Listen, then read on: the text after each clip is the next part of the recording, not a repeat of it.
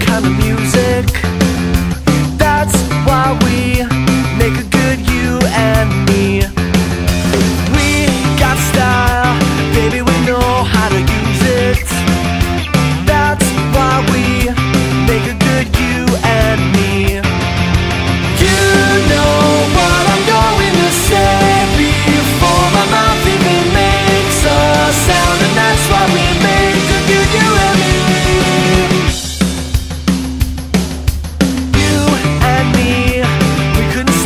being normal